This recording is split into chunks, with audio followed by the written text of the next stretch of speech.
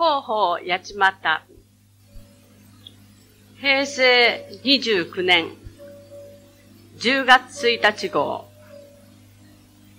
第790号。発行八幡市。編集総務部秘書広報課。発行日毎月1日15日。郵便番号289-1192千葉県八幡市八幡穂35番地29電話043-443-1111ファックス043-444-0815ホームページ http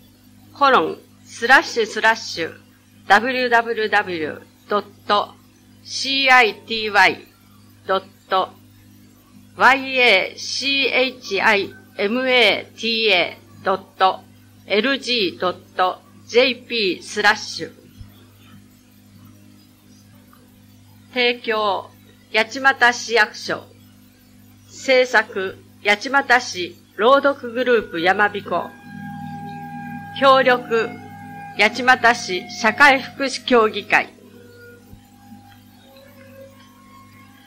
皆様、こんにちは。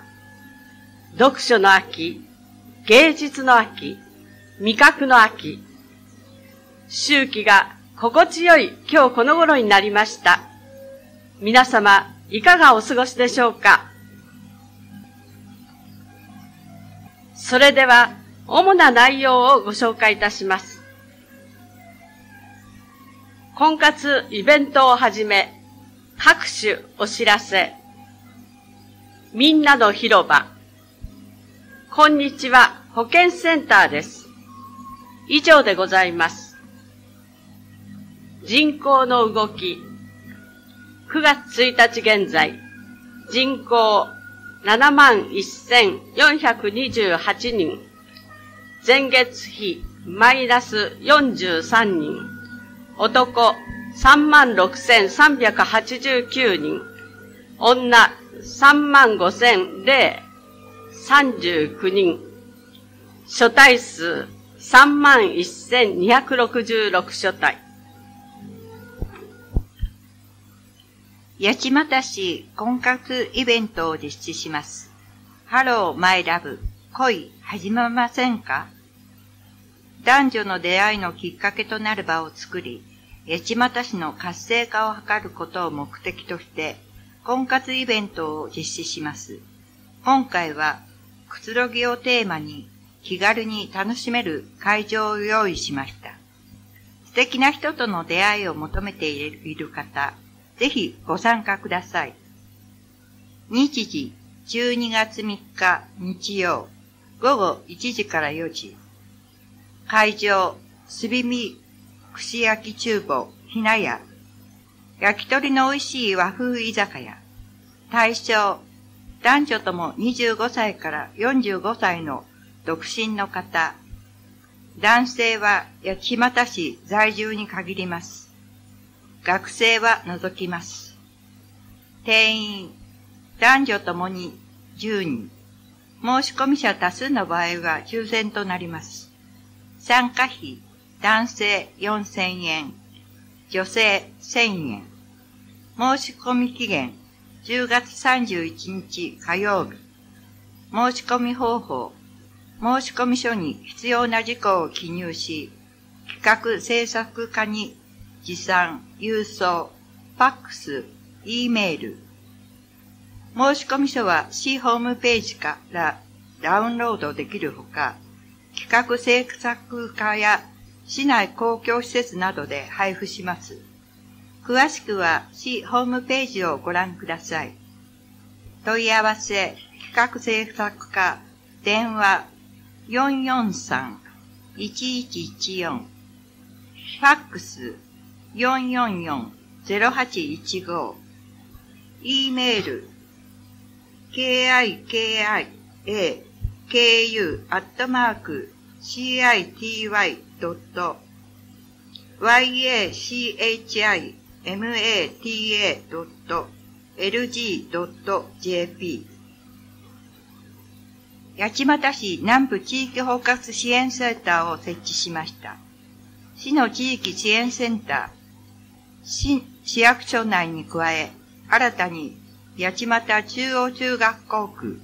八街南中学校区を対象とした委託型の地域包括支援センターを10月1日日曜に設置しました。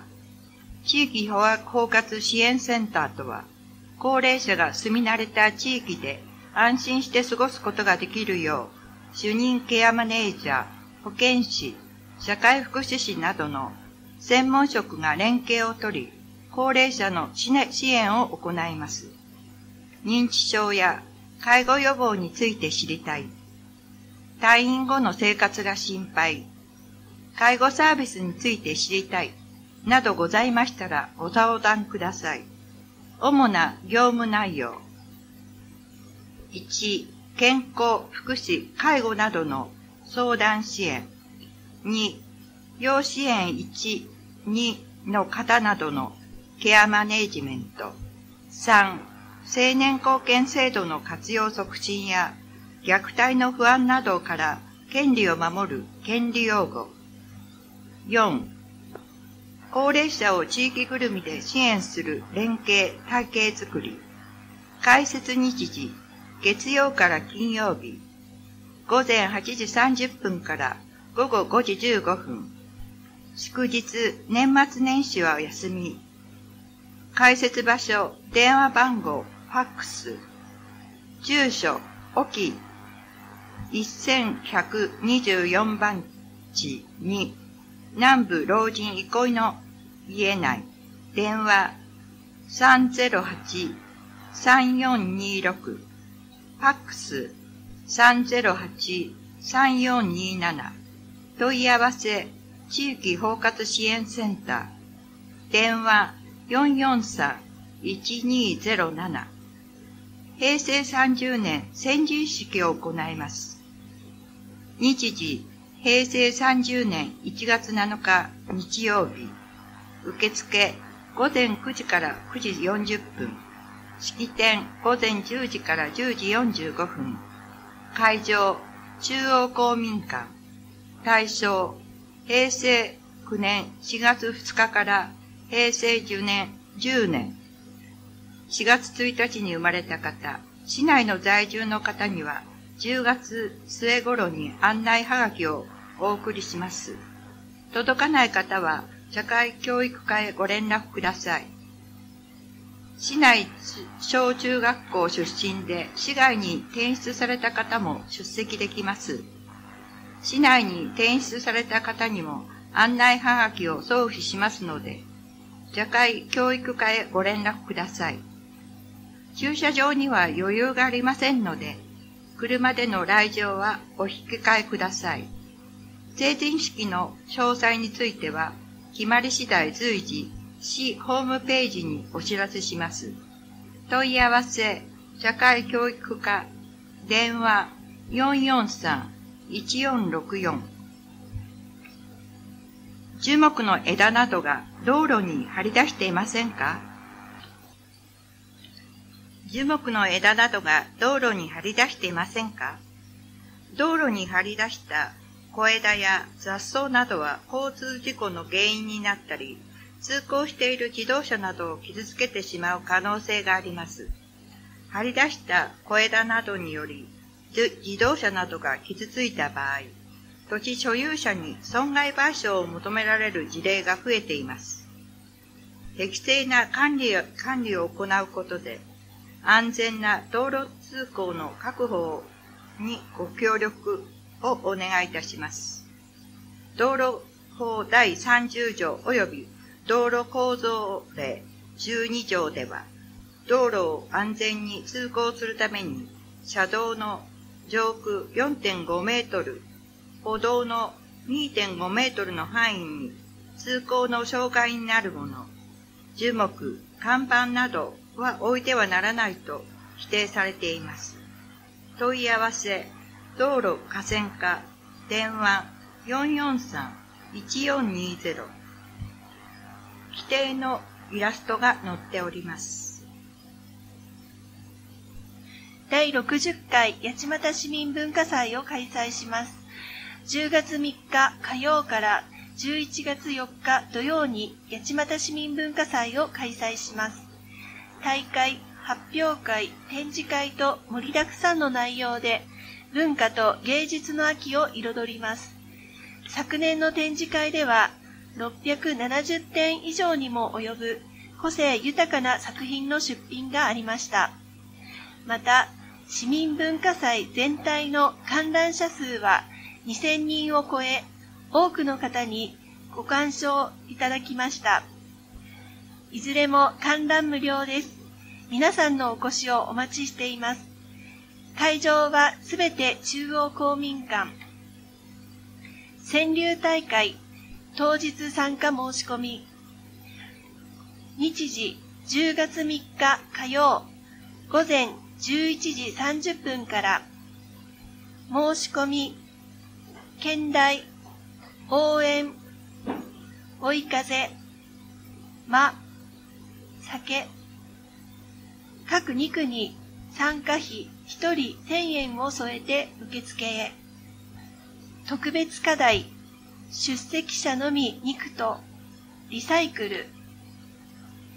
将棋大会、当日参加申し込み。日時、10月7日土曜、午前9時30分から午後4時。申し込み午前8時50分から9時30分に参加費大人1500円、高校生以下800円、昼食代含むを添えて受付へ。囲碁大会当日参加申し込み日時10月7日土曜午前9時30分から午後4時、申し込み午前8時50分から9時30分に参加費大人1000円、学生500円、軽食代含むを添えて受付へ。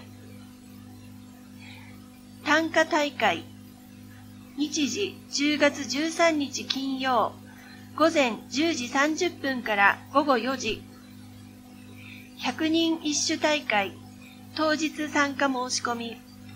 日時10月14日土曜午後1時から4時。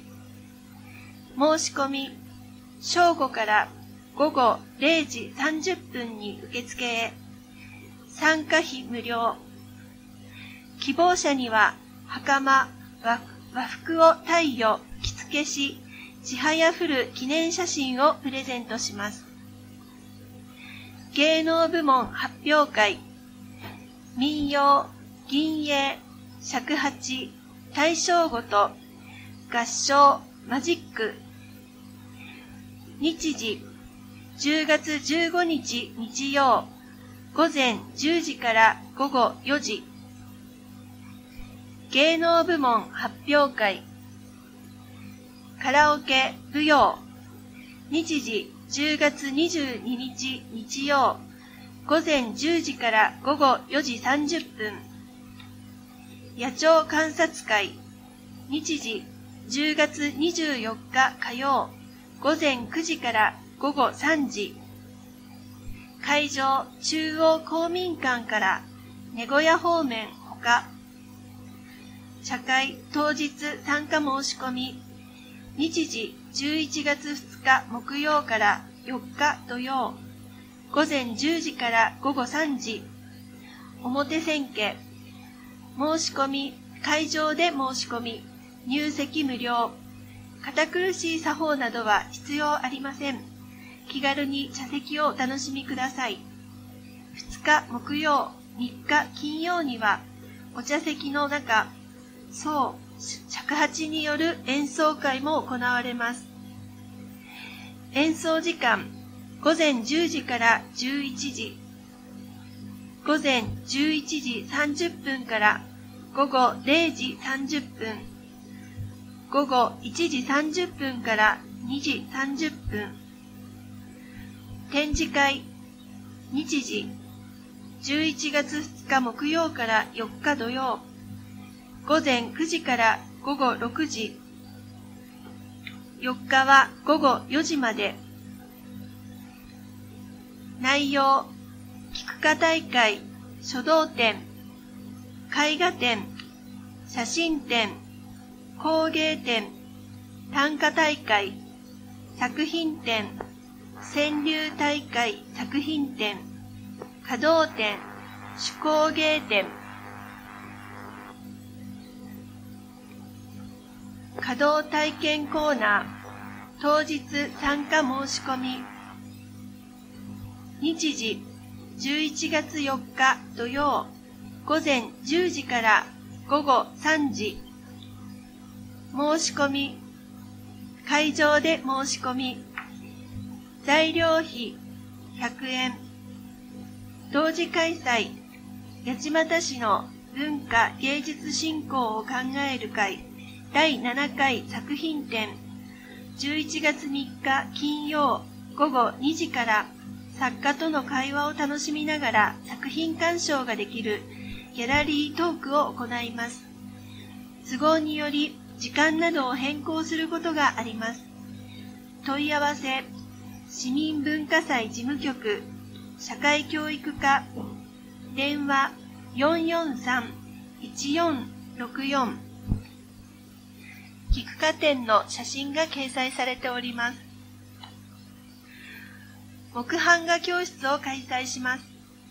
千葉黎明高等学校開放講座として木版画作りの基礎を学ぶ木版画教室を行います。木版画は気軽に誰でもできるアートで千葉黎明高等学校の先生方が年賀状作りを楽しく教えます。日時10月28日土曜。11月11日土曜。25日土曜。12月9日土曜。全4回。午後1時から3時。会場千葉黎明高等学校。対象市内在住在勤者。定員15人申し込み順。参加費4000円、教材費、彫刻刀、三角刀、平刀、丸刀、切り出し刀、バレンをお持ちの方は2000円です。申し込み、10月17日火曜、午前9時から11時、中央公民館1階小会議室で受け付けます。午前11時以降は中央公民館窓口で受け付けます。翌日からは午前9時から午後5時で定員に達するまで受け付けます。申し込み期限は10月20日金曜です。費用を添えてお申し込みください。申し込みは1人1名分代理化とし、電話での申し込みはできません。問い合わせ、社会教育課、電話443-1464スポーツレクリエーション祭ディスクゴルフ大会フライングディスクフリスビーを投げてバスケットの形をしたゴールに何回目で入れられるかを競うスポーツ大会です。日時、10月22日日曜、午前8時30分から、予備日、11月3日金曜、会場スポーツプラザ、対象小学生以上、参加費無料、締め切り10月17日火曜、問い合わせ、スポーツ振興課、電話443-1465特定健康審査の結果を役立てよう。健康の維持や生活習慣病予防のため、特定健康審査の数値や結果の見方を医師がわかりやすく説明します。日時10月23日月曜午後1時から4時。会場総合保健福祉センター。参加費無料。持ち物。特定健康審査結果。筆記用具。管理栄養士による。医療講演会を同時開催します。問い合わせ、国保年金課、電話443 1139私立小中学校の特別支援教育支援員登録者を募集。特別な支援を必要とする児童生徒の学校生活を支援してくださる方を募集します。申し込みした方は名簿に登録され、欠員が生じた時に対応します。対象、市内在住50歳くらいまでの方、勤務時間、月曜から金曜日、5日以内、午前8時から午後3時45分、勤務時間は相談に応じます。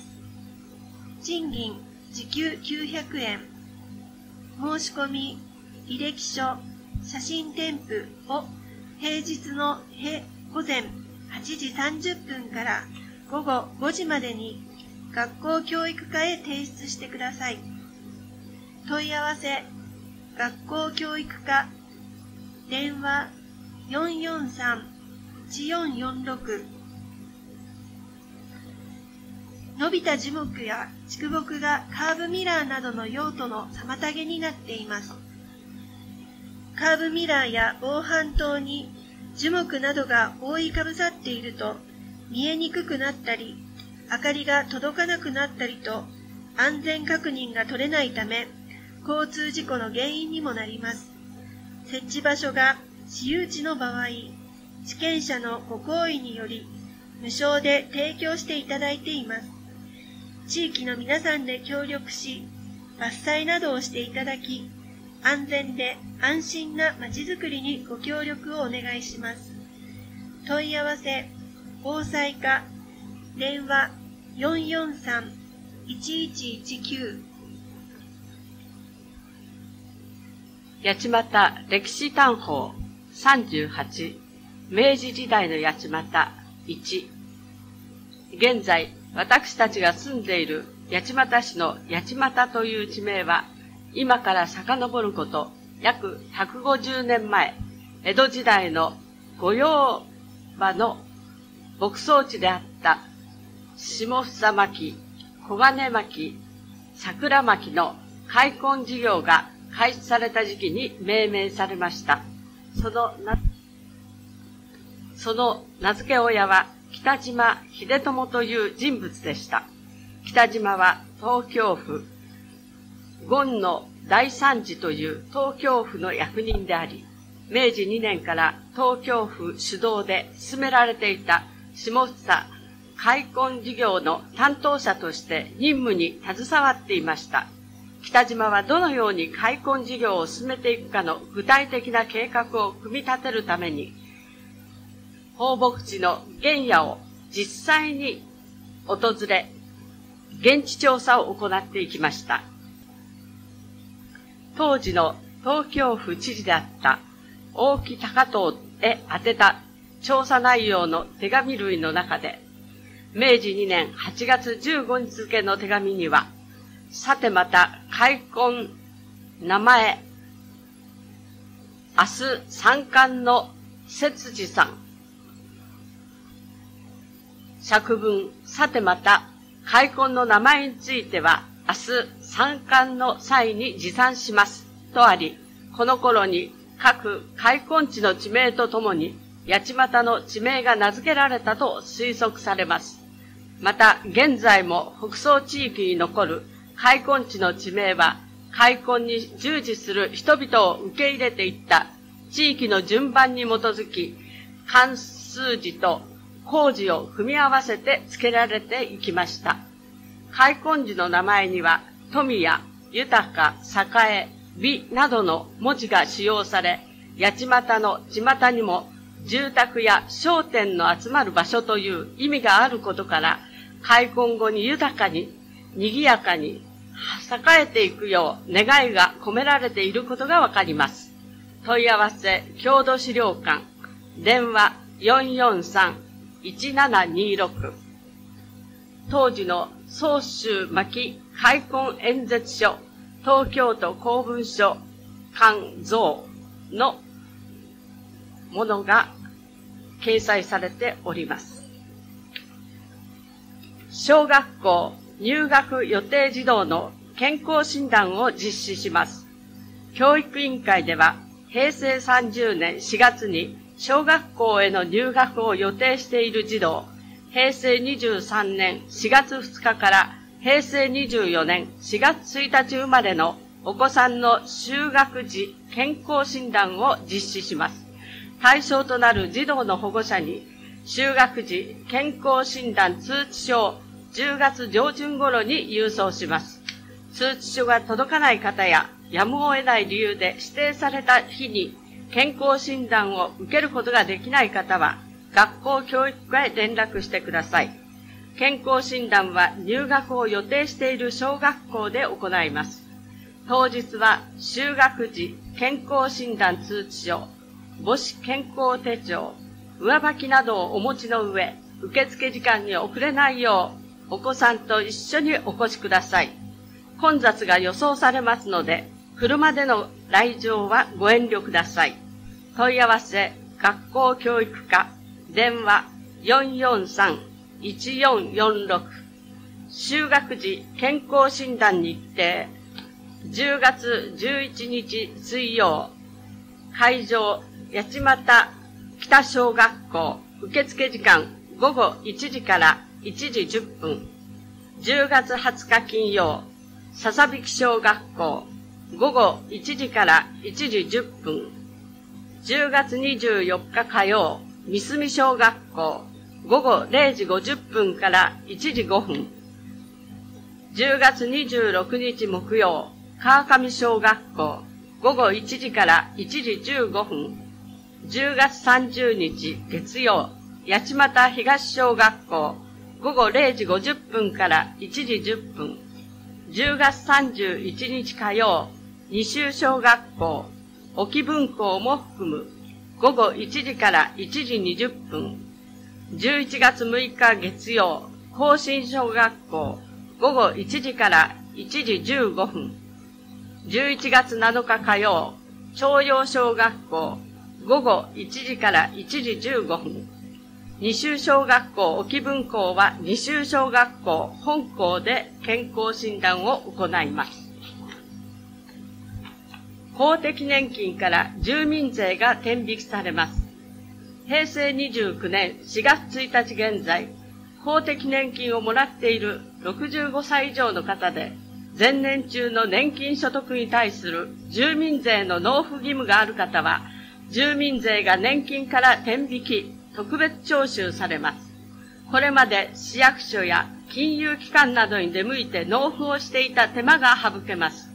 ただし、公的年金以外の収入に対する住民税は、今までと同じように、給与からの転引きや納付書での納付となります。前年度から継続して年金からの転引きをしていない方で、初めて年金から転引きの対象になる方は、10月から始まります。問い合わせ、課税課、電話、443-1116。私立幼稚園の園児を募集します。平成30年4月からの入園を希望する園児、4歳児を募集します。対象、平成25年4月2日から平成26年4月1日生まれの方、願書提出日10月30日月曜、31日火曜、願書提出先、入園希望の私立幼稚園、私立幼稚園の閉願はできません。願書は10月23日月曜から各私立幼稚園または学校教育課で配布します。土曜、日曜日、祝日を除く。八街第一幼稚園、定員4歳児90人、受付時間午前9時30分から午後5時、午後1時30分から2時30分を除く、問い合わせ、電話443-2110、川上幼稚園、定員4歳児60人、受付時間午前9時から午後5時、問い合わせ、電話445-5711、徴用幼稚園、定員4歳児60人、受付時間午前9時から午後5時、問い合わせ、電話443-5100、3円とも定員を超えた場合は抽選となります。問い合わせ、学校教育課、電話443-1446私立幼稚園の願書などについては入園を希望される私立幼稚園にお問い合わせください。難病療養者に見舞い金を支給しています。対象、千葉県が交付する次の受給者証などをお持ちの方、特定医療費、指定難病受給者証、千葉県小児慢性特定疾病医療受給者証、特定疾患医療受給者証、千葉県選定性血液凝固因子障害等受給者証、支給額、月額1000円、申請に必要なもの、申請書、受給者証など、本人名義の預金通帳、認め印、申請書は障害福祉課で配布しています。9月30日現在で八街市難病療養者見舞金を受給している方は、更新後の受給者証などの提出が必要となります。提出がない場合は見舞金を支給できません。問い合わせ、障害福祉課、電話443-1649 10月11日から20日は安全で安心なまちづくり循環。1月から6月までの半年間に市内で発生した犯罪件数は332件。対前年同期比プラス40件で約14%の増加傾向にあります。このうちの241件、約73%が窃盗犯であり、その内訳は侵入犯、空き巣など35件、乗り物と自転車等など89件、非侵入等、車上狙いなど117件でした。犯罪者が嫌うのは住民同士の連携。犯罪を防ぐには個人での対策も重要ですが、地域全体で防犯活動に取り組むことが効果的です。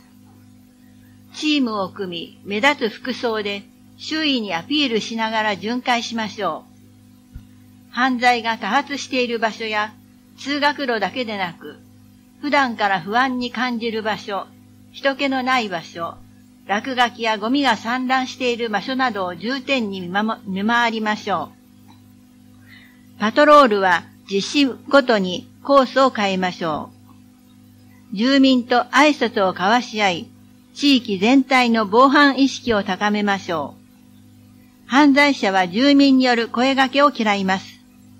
見慣れない人がいたら、どこかお探しですか？などと声をかけましょう。不審者や不審車両を見かけたら、110番に通報しましょう。防犯パトロール隊。現在市内では自主的に子供たちの見守りや夜間の集団パトロール、青色パトロール車による防犯活動団体が17団体あります。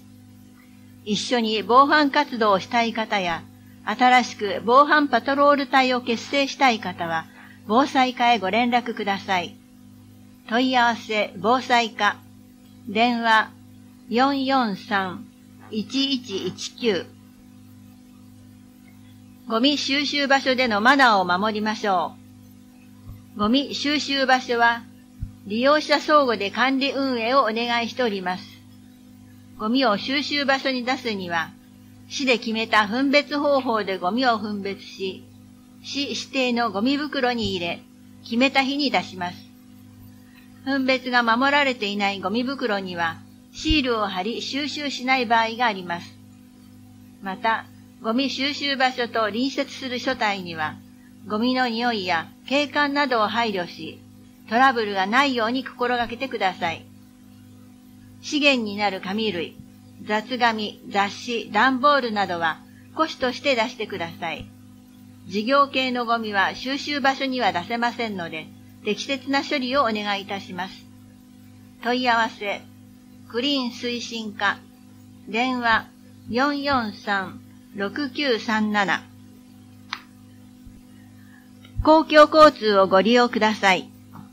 市内には JR 総武本線、市のコミュニティバス、ふれあいバスのほか、八街駅から住野線、京成成田駅行き、八街線、東金駅行き、八街線、鳴東駅行き、八街循環線、市内循環の4つの民間路線バスと、東京駅行きの高速バスが運行されています。路線バスは利用者の減少により存続が危ぶまれており、運行を継続するために国や県の補助金を受け、さらに八街市、山武市が補助金を交付している路線もあります。これらの路線バスが運行を継続するためには、バス事業者の経営改善の努力はもちろんのこと、皆さんのより一層のご利用が必要です。鉄道や路線バスといった公共交通は、交通渋滞や交通事故の減少が期待できるなどの住みやすい街を実現するだけではなく、自動車に比べ二酸化炭素の排出量も少なく、地球環境にも優しい移動手段です。普段、マイカーを利用されている方も、お出かけの際には公共交通をご利用ください。ふれあいバスは10月から新たな路線、時刻で運行を開始します。ご利用をお願いします。問い合わせ、企画制作課、電話443-1114第65回精神保健福祉普及運動を実施。10月16日月曜から22日日曜は第65回精神保健福祉普及運動瞬間です。この運動は精神障害者の地域社会における福祉に関する理解を深め、福祉の増進及び国民の精神保健の向上を図ることを目的に、全国的に行われている運動です。八街市では市民の心の健康づくりのために心の健康相談を通年行っています。次回以降の開催日程は次の通りです。開催日時予約制10月16日月曜11月6日月曜12月11日月曜平成30年1月15日月曜。平成30年2月19日月曜。平成30年3月12日月曜。各日とも午後2時から4時。会場、総合保健福祉センター。内容、家庭、職場、学校での人間関係がうまくいかない。何をするのも億劫でやる気が出ない。眠れない。不登校、引きこもり、家庭内暴力、アルコール依存症など、精神保健福祉士が無料で相談に応じます。問い合わせ、障害福祉課、電話443-1649、ファックス443-1742子育て支援センターのご案内。子育て支援センターは、子育ての不安、悩みなどの相談や、子育て親子の交流の場として利用できます。保育園、子供園内にありますので、保育士が子供の食事、睡眠、友達づくりなど様々な不安や悩みなどについて相談できます。対象、小学校修学までのお子さんとその保護者、妊婦、地域の育児サークル。利用日、時間。月曜から金曜日。午前9時30分から午後4時。生活クラブ風の村保育園八街は午前8時30分から午後0時30分。午後1時30分から2時30分です。祝日、年末年始は休み。各保育園の行事などで臨時休館する場合があります。利用料金、無料。予約が必要なものや材料費はかかります。実施施設、毎月の行事などは各子育て支援センターで毎月通信を発行しています。通信は子育て支援課、健康増進課、中央公民館、図書館、各保育園などで配布しているほか、市ホームページでもご覧いただけます。問い合わせ、子育て支援課、電話443-1693子育て支援センター実施施設、三住保育園子育て支援センターニコニコルーム、所在地、八街保215、連絡先、電話443-8900、生活クラブ風の村、保育園八街、子育て支援センター、風の村、東吉田8-5、電話440-2008八。幡開拓保育園。子育て支援センター開拓。八幡に66-4電話442-4545明徳八幡子ども園。子育て支援センター。ホットステーションタンポポ。八幡保559-2電話488-4919八幡市農業振興地域整備計画の変更申請の受付。八幡市農業振興地域整備計画の変更申請は年2回開催される。八幡市農業振興地域整備促進協議会により審議されています。変更申請は随時受け付けています。次回の会議は10月31日火曜までの変更申請受付分を審議する予定です。申請書類は納税課で配布しているほか、市ホームページからもダウンロードできます。問い合わせ、納税課、電話443-1402あなたもシニアクラブに加入しませんか？昭和38年4月、高齢者の生きがいづくりや社会参加のための組織として、八街市シニアクラブ連合会が創設されました。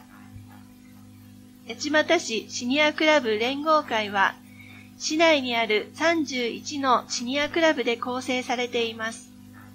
本クラブでは、健康、友愛、奉仕を三本柱として様々な活動に取り組んでいます。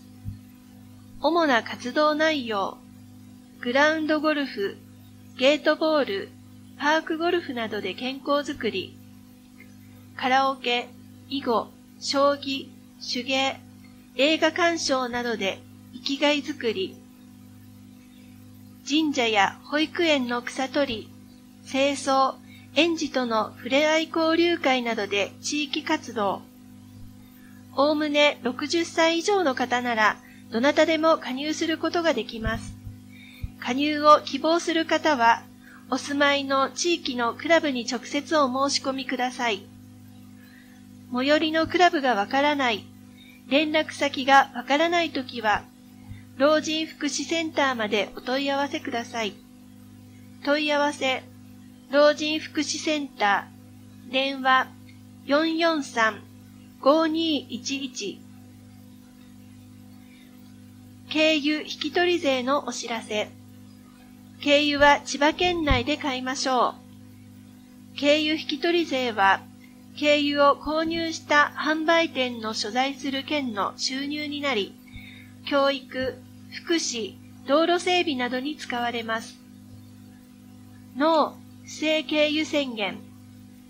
不正軽油の製造、販売、使用は軽油引取税の脱税だけではなく、県民の健康や地域の環境に悪影響を与える悪質な犯罪行為です。不正軽油の流通を防止するため、買わない、売らない、使わない、不正軽油の販売や使用の防止にご協力をお願いします。問い合わせ、桜県税事務所、電話。483-1116千葉県動物愛護センター。動物愛護事業。犬のしつけ方教室。事前予約制。基礎講座。日時。10月5日木曜。11月2日木曜12月7日木曜午前10時から正午。定員各20組先着順。参加費無料。犬の同伴はできません。実技講座。日時10月5日木曜。11月11日土曜。12月7日木曜。午後1時から3時。定員各10組先着順。参加費3000円。実技講座は、講座千葉県動物保護管理協会が開催しますので、事前予約は、講座千葉県動物保護管理協会電話214-7814までご連絡ください。パピークラス予約制子犬の飼い方、しつけ方などを学びます。費用は無料です。日程や参加要件などは、千葉県動物愛護センターへお問い合わせください。一般譲渡会、センターの政権、性病を譲渡します。日時、10月15日日曜、26日木曜、11月12日日曜、12月21日木曜、午後1時30分から3時。受付午後1時から1時30分。受付時間に遅れると譲渡会には参加できません。参加費無料。飼い主探しの会予約制。日時10月14日土曜、11月11日土曜、12月2日土曜、犬猫の欲しい方、午前9時30分から、犬猫をあげたい方、午前10時から、参加費無料、会場はすべて千葉県動物愛護センターで行います。申し込み問い合わせ先千葉県動物愛護センター、電話0476-935711医療講演会を開催します。日時、10月24日火曜午後2時から4時。会場、インバ健康福祉センター。内容、講演、体験発表、炎症性腸疾患の最新医療情報について、講師、東邦大学医療センター桜委員、竹内健氏、対象、海洋大腸炎、クロン病の患者さんとそのご家族、定員50人程度、先着順、申し込み10月13日金曜までに、千葉県印馬健康福祉センター地域保健課に電話で申し込み、問い合わせ、千葉県印馬健康福祉センター地域保健課、電話483-1134、ファックス486-2777創業金融支援セミナーを開催します。千葉起業家応援事業の一環として、事業を始めて間もない方や、起業予定の方、金融に興味のある方などを対象に、融資制度や公的支援の有効活用、国、県などの補助金制度などのセミナーを開催します。日時10月26日木曜午後1時30分から3時30分会場八街商工会議所定員40人先着順参加費無料締め切り10月19日木曜申し込み八街商工会議所電話443-3021上級救命講習会を開催します。桜市八街市止水町消防組合では AED の使用法を含めた上級救命講習会を開催いたします。日時10月28日土曜午前9時から午後6時会場桜市八街市止水町消防組合消防本部桜市、定員50人先着順、定員になり次第締め切り、受付開始日10月2日月曜午前9時から、参加費無料、申し込み、桜市、八街市止水町消防組合、消防本部警防課、電話481-1248 10月の移動交番情報。3日火曜午前、イオン八街店。午後、霞朝日店。4日午前、ファミリーマート八街ご宝食い店。5日木曜午前、ビッグコミュニティセンター。6日金曜午前、肘会コミュニティセンター、午後、南部老人憩いの家。10日火曜午前、ランドローム東吉田店。午後、セブンイレブン山田大店。11日水曜午後、上伊佐護安らぎの家。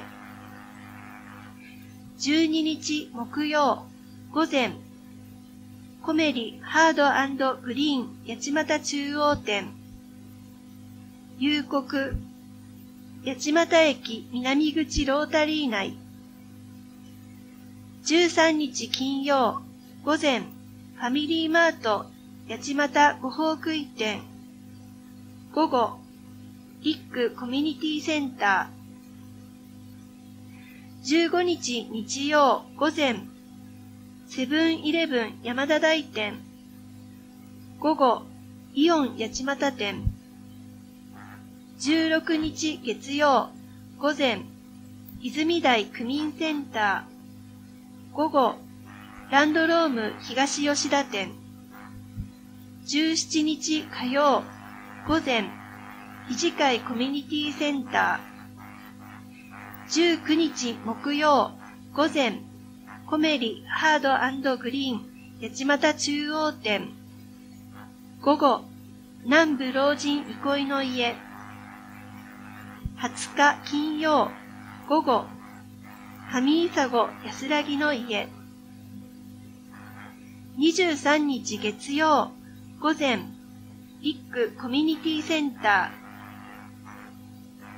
24日火曜午前、イオン八街店。午後、ランドローム東吉田店。25日水曜午前、ファミリーマート八街ご宝食い店。午後、セブンイレブン山田大店。26日木曜午後、富山コミュニティセンター。27日金曜午前、肘会コミュニティセンター。午後、霞朝日店。30日月曜午後、上伊佐子安らぎの家。午前は午前10時から11時30分。午後、午後2時 ,2 時から3時30分。夕刻は午後4時から5時。諸事情により開設できない場合があります。問い合わせ、桜警察署八幡幹部交番、電話。443-1110みんなの広場、伝言版、催し講座、第5回土建祭り、日時10月29日日曜、午前10時から午後2時30分、会場、イオン八幡店、第2駐車場、内容、子供工作教室、建設機械、乗車体験、模擬店ほか、公園八幡市、八幡市教育委員会、問い合わせ、千葉都県八幡支部、伊藤博美、電話442-0280、行ってみっか、沖の祭り、日時11月3日金曜。午前9時から。会場二州小学校沖分校。内容少年少女武者行列。ひなわ中演舞持ち投げ高潮の演舞ほか問い合わせ林正夫電話080-9997-7302お知らせ、八幡福祉フェスタ2017たくさんの方と出会い、つながることで、障害のある方もない方も共に暮らしやすい八幡になるために開催します。日時10月28日土曜、午前9時30分から午後3時、会場中央公民館。内容パラリンピック金メダリストの講演会、ブラインドサッカー、障害者体験、各種物品や食べ物などの販売、喫茶店、勾玉作り、健康教室、美術品の展示、問い合わせ、八街市社会福祉協議会、電話443-0748第4回福祉チャリティーパークゴルフ大会、市民の健康、体力づくりや交流を深めるために、パターゴルフ大会を開催します。日時、10月30日、月曜、小雨月光、午前8時30分集合、予備費、10月31日火曜、会会場、八幡パークゴルフ。対象、市内在住、在勤者。八幡市。パークゴルフ協会が認めたもの。定員90人。参加費、1人500円。貸しクラブ200円。申し込み10月2日月曜から20日金曜に八幡パークゴルフ。電話445-0231に電話で申し込み。問い合わせ、八街市社会福祉協議会、電話443-0748、第17回フードドライブ。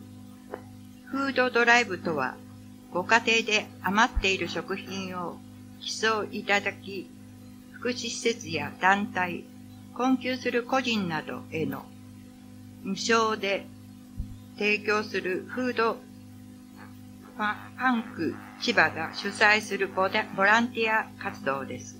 寄贈期間10月31日火曜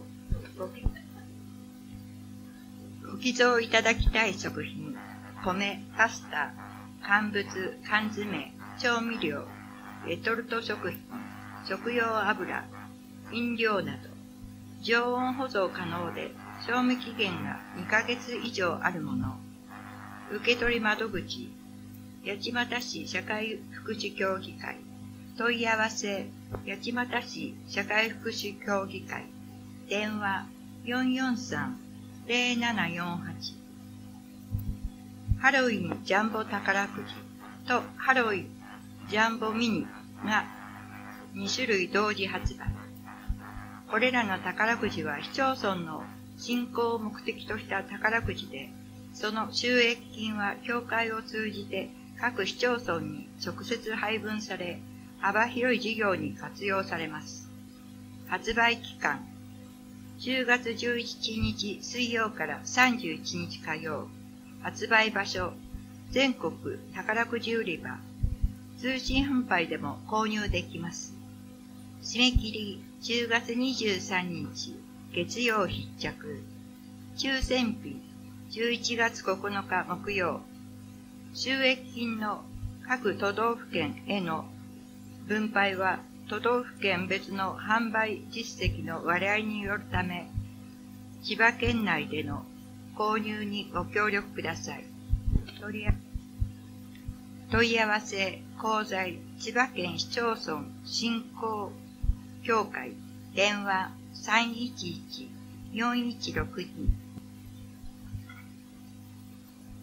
千葉一日合同行政相談所を開設。10月16日月曜から22日日曜は行政相談週間です。行政相談週間の一環として1日合同行政相談所を開設します。日時10月20日金曜午前10時から午後4時。会場エリエ千葉7階。千葉市。内容国や独立法人などの仕事に対する意見要望や行政に対する困りごとなどを受け付け、行政機関との橋渡しをします。秘密厳守します。問い合わせ、千葉行政監視行政相談センター、電話244-1100、中途必聴者、難聴者とのミニ懇談、手話学習会、日時1、10月7日土曜。2、10月15日日曜。午後1時30分から4時。会場1、桜市中央公民館。2、止水町。中央公民館。申し込み不要、参加費は無料ですが、初参加時ののみテキスト代1200円。どなたでも参加できます。要約、要約筆記 OHP、OHC でサポートします。問い合わせ NPO 千葉県中途失調者難聴者協会印馬事務所電話047-432-8039本部事務所ファックス461-6533第20回、29回千葉防災の開催日時10月21日土曜午前9時10分から午後3時会場千葉県立千葉盲学校。内容幼児児童生徒によるステージ発表作品展示農工班織物班による販売、理療家によるマッサージ体験、県立四街道高等吹奏楽部による演奏ほか、問い合わせ、千葉県立千葉盲学校。電話422-0231。ファックス424-4592。富里特別支援学校。富洋祭を開催。日時11月11日土曜午前9時30分から午後1時45分。販売。舞台発表は午前10時から午後1時。会場。富里特別支援学校。内容。小学部ステージ発表。中学部、高等部の作業製品販売。地域の各施設の販売活動。持ち物、スリッパなどの上履き。問い合わせ、富里特別支援学校田中。電話、0476-92-2100。JICA ボランティア募集。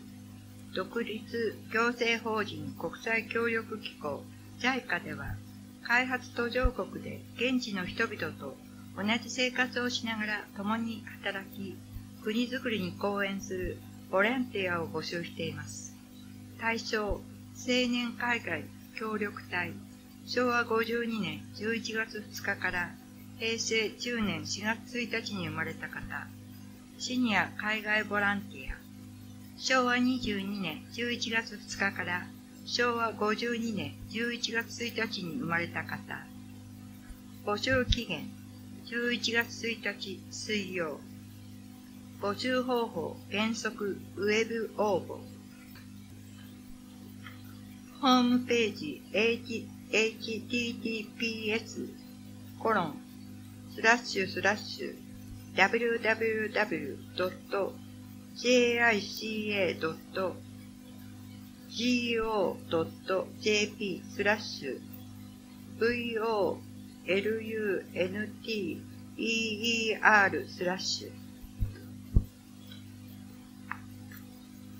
問い合わせ JICA 青年海外協力隊事務局募集募集専攻科電話03-5226-9813小学3年生から高校生の国際交流冬休み海外研修交流事業公益財団法人国際青年研修協会では冬休み海外研修交流事業の参加を募集しています。内容、生活文化体験3コース、オーストラリア、サイパン、カンボジア、英語研修2コース、カナダ、フィリピン。締め切り11月1日水曜。詳しくは、講座国際青年研修協会のホームページをご覧ください。ホームページ http コロンスラッシュスラッシュ www. kskk.or.jp 問い合わせ公益国際青年研修協会電話036417 9721さくら調停協会無料調停相談調停委員と弁護士が相談に応じます。日時10月21日土曜午前10時から午後3時30分会場四街道市総合福祉センター日時10月28日土曜午前10時から午後3時30分会場、成田市保健福祉館。日時11月11日土曜午前10時から午後3時30分。会場、ミレニアムセンター桜、印西市中央駅前地域交流館2号館。問い合わせ、千葉家庭裁判所桜支部、庶務課、電話484-1216八街駅北口市を開催します。日時、10月8日日曜、雨天中止、午前9時から午後3時、会場、八街駅北口ロータリーとなる、八街和楽太鼓によるステージイベント、八街産落花生、新鮮野菜、ラーメン、焼きそばなどの販売。問い合わせ、八街未来岡田、電話443-4359こんにちは、保健センターです。申し込み、問い合わせ、健康増進課、電話443-1631高齢者インフルエンザ予防接種が始まりました。昨年度、八街市の女性を受け、予防接種をされた方と、新たに65歳になられる方、昭和26年。10月1日から昭和27年9月30日に生まれた方には個別に通知しました。接種を希望する方は医療機関に予約し、接種してください。実施期間、10月1日日曜から12月31日日曜。年末は医療機関が休診の場合がありますので、確認の上接種してください。実施場所、市内委託医療機関。市外での接種を希望される場合は、健康増進課に確認してください。対象、1、65歳以上の方、2、60歳以上65歳未満で、心臓、腎臓、呼吸器の機能、または、人免疫不全ウイルスによる機能の障害があり、このいずれかの身体障害者手帳1級を所持している方、自己負担1200円。昨年度接種しなかった方で、今年度接種を希望する方は、予診票を発行しますので、健康増進課へご連絡ください。ママになろう、ハッピールームに参加しませんか？妊婦さん同士、一緒に遊ぶ楽しい集いの場です。妊婦、出産、子育てへの不安がある方、身近に妊婦さんや子育て中の人がいないという方、お待ちしています。妊婦中のひとときを楽しく過ごしませんか？日時1、11月1日、水曜。2、11月11日土曜。3、11月28日火曜。1から3で1コースの日程ですが、ご都合の良い日程のみの参加もできます。11月11日土曜は、パパやおばあちゃんなどのご家族と、一人と一緒に参加できます。会場、総合保健福祉センター。内容、助産師の話、フリフリマタニティ体操、ママ、ハピカフェ、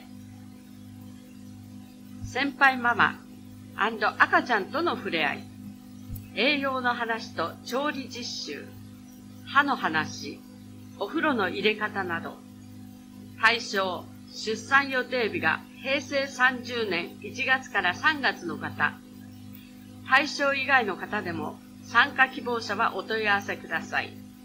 定員20人、先着順、参加費500円、調理実習の材料費、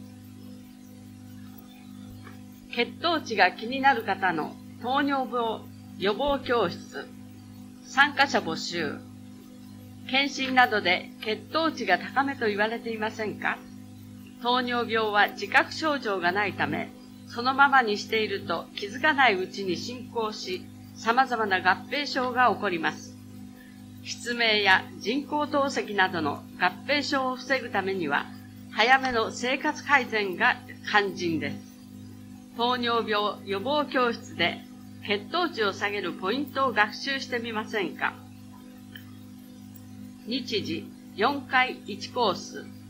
個別面接1日。1、10月20日金曜。午後。個別面接10月24日火曜。1日または11月1日水曜。1日。2、11月9日木曜。1日。3、11月30日木曜午前。4、平成30年1月12日金曜午後のみ。会場総合保健福祉センタースポーツプラザ。内容糖尿病に関する基礎知識運動食事歯の話ウォーキング実技調理実習。個別に行動目標を決めて生活改善に取り組む。対象ヘモグロビン A1C 6.0%以上、または空腹時血糖 110mg デシリットル以上で40から74歳の方、原則としてすべての日程に参加できる方、定員25人、定員を超えた場合は抽選となります。参加費500円。調理実習費、申し込み期間、10月2日月曜から12日木曜。受講の可否を申し込み者全員に通知します。持ち物など詳しくは通知書でご確認ください。子供の食教室、初めての料理、包丁や火を使わない簡単な料理体験と子供の食生活に関する講話の教室です。日時11月2日木曜、午前10時30分から午後0時30分。会場、総合保健福祉センター。内容、子供の食生活に関する講話。料理体験、ホットサンド、フルーツポンチ。対象3から4歳の幼児とその保護者、各一人で一組。親子で着席し、30分程度作業をします。定員8組。定員を超えた場合は抽選となります。参加費1組300円。締め切り10月20日金曜。詳しくは受講決定者に文書で通知します。特定健康審査、後期高齢者健康審査、肝炎ウイルス検診、前立腺がん検診を追加で実施します。日時、10月27日金曜、28日土曜、30日月曜、受付午前9時から10時30分、会場総合保健福祉センター、注意事項対象者には7月上旬に受信票を発送しています。持ち物は同封のお知らせでご確認ください。受信票の郵送を希望する方はご連絡ください。問い合わせ、特定健康審査、国保年金課、電話443-1139その他の検診、健康増進課。電話443-1631第35回目の愛護デー無料電話相談目の健康についての相談に千葉県眼科医会員が交代でお答えします。日時10月9日月曜午前9時から午後4時問い合わせ、千葉県眼科医会。電話242-4271。電話相談当日のみ。事前申し込み不要です。子育て親子の交流の場、親子サロン、ひまわり、日時、月曜から金曜日、午前9時から午後4時、会場、総合保健福祉センター3階、正午から午後1時は閉鎖、スポーツプラザ、日時、10月4日水曜、6日金曜、11日水曜、13日金曜、25日水曜、27日金曜、午前9時から午後4時、会場、スポーツプラザ2階会議室、4日、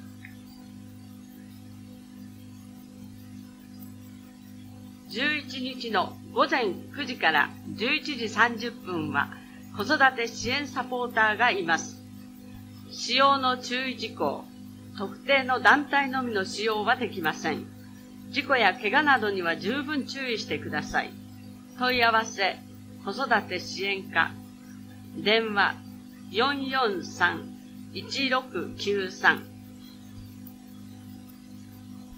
島田加穂、エンド、前田優奈、ウィズ、千葉交響楽団、ビバミュージカル4日時11月23日木曜開演午後2時午後1時30分会場。会場桜市民音楽ホール座席数667席。参加費 A 席4500円。B 席3900円。学生3000円。市内のチケット販売店八街市社会福祉協議会電話443-0748八街市推奨の店ぼっち電話444-6007詳しくは桜市民音楽ホールホームページをご覧ください。ホームページ http コロン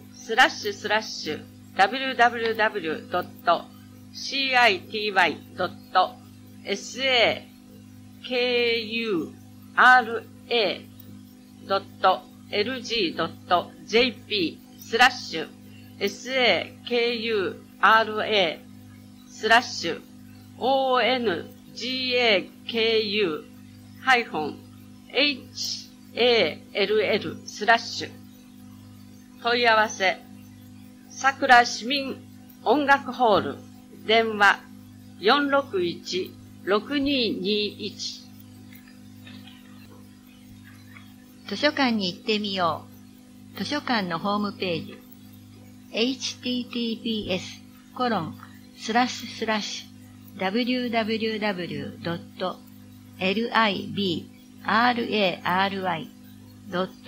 yachimata.chiba.jp 電話番号043-444-4946今月の催し絵本が動く映画会対象5歳程度から。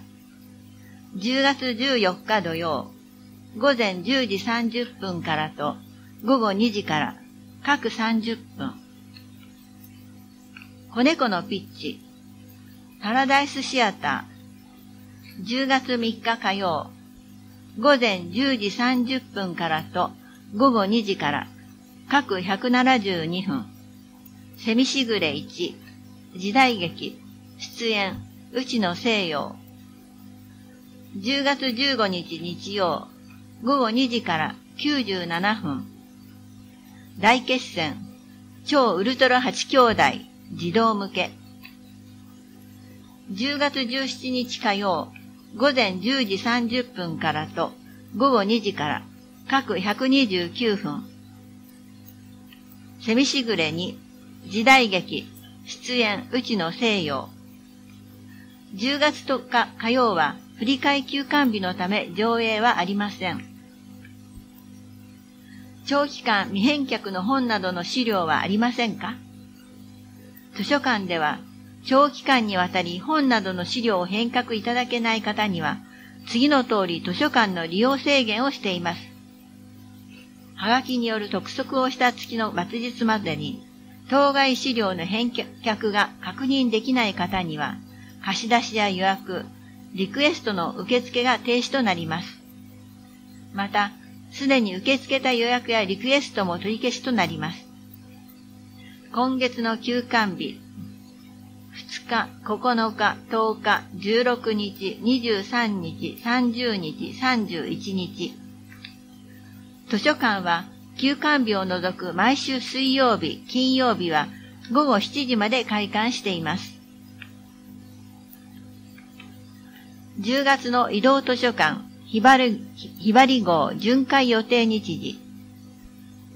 4日、18日、毎月第1、第3水曜日。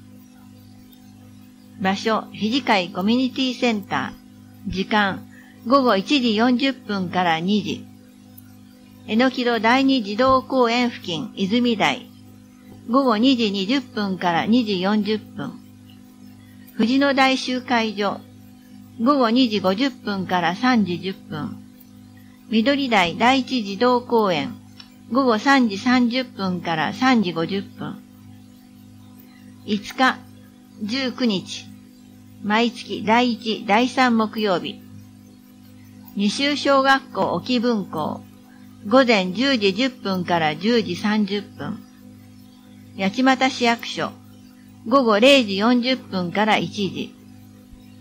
富山コミュニティセンター、午後1時20分から1時40分。市営住宅徴用団地、午後2時10分から2時30分。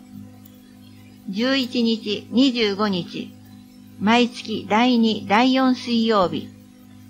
二州小学校、午後1時10分から1時30分。宮野原コミュニティセンター、午後1時50分から2時10分。上久子安らぎの家、午後2時20分から2時40分。吉倉ガーデンタウン、午後3時から3時20分。希望が丘、午後3時40分から4時。12日、26日、毎月第2、第4木曜日。市営住宅、笹引団地、午前9時40分から10時。大やる子供の遊び場、午後1時50分から20分。持ち草公民館、午後2時30分から2時50分。朝日区ミュニティセンター、午後3時20分から3時40分。暴風雨などの悪天候の時は運行を中止します。夜間及び休日の市税納付、納税相談窓口。日時、夜間、10月3日火曜、10日火曜、17日火曜、24日火曜、31日火曜、午後5時15分から8時、休日、10月29日日曜、午前8時30分から午後5時、会場、納税課、内容、自然の納付、納税相談、問い合わせ、納税課、電話、443-1115市役所の日曜会長日。今月は10月29日に日曜です。市民課、課税課、納税課、国保年金課で業務の一部を取り扱いますのでご利用ください。住民移動が伴う業務、国民年金業務は取り扱うことができません。今月の納付、市県民税3期、国民健康保険税4期、相談コーナー、相談はすべて無料です。お気軽にご相談ください。法律相談弁護士、10月4日水曜、18日水曜、午後1時から4時、総合保険福祉センター、受付は先着10人まで。申し込み。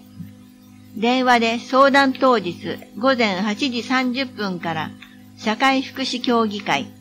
電話443-0748心配ごと相談。毎週水曜日。祝日を除く。午後1時から4時。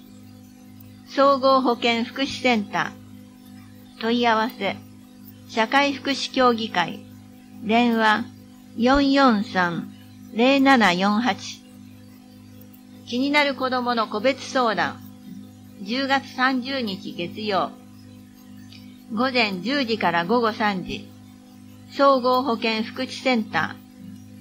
予約制で受付は先着6人まで。問い合わせ社会福祉協議会。電話443-0748年金相談10月19日木曜。午前10時から午後3時。総合保健福祉センター。問い合わせ国保年金課。電話443 1139交通事故相談。10月20日金曜午前10時から午後3時総合保健福祉センター。予約制で相談希望日の2日前までにご連絡ください。問い合わせ、防災課、電話443-1119人権行政相談。10月26日木曜。午後1時から4時。総合保健福祉センター。人権擁護委員と行政相談委員が相談を受けます。問い合わせ総務課、電話443-1113心の健康相談。10月16日月曜。午後2時から4時。総合保健福祉センター。予約制。問い合わせ障害福祉課。電話443-1649弁護士相談市税滞納者。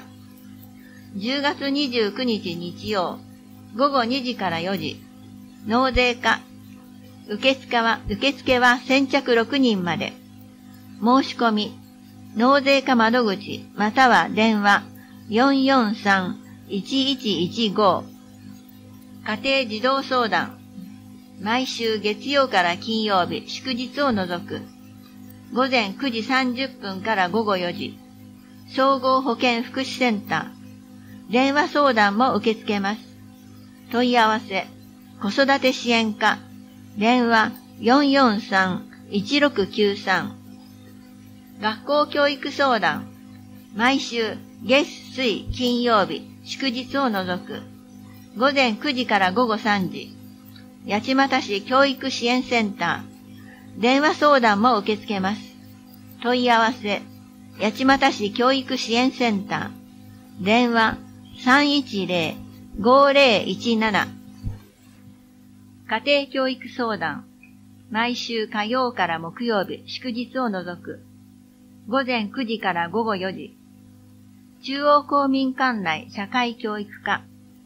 問い合わせ社会教育課電話443-1464消費生活相談毎週月曜から金曜日祝日を除く。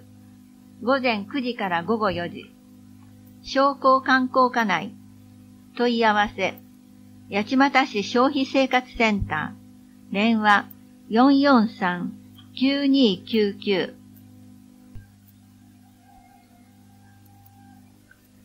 以上で、平成29年10月1日発行第790号声の広報八街を終わります。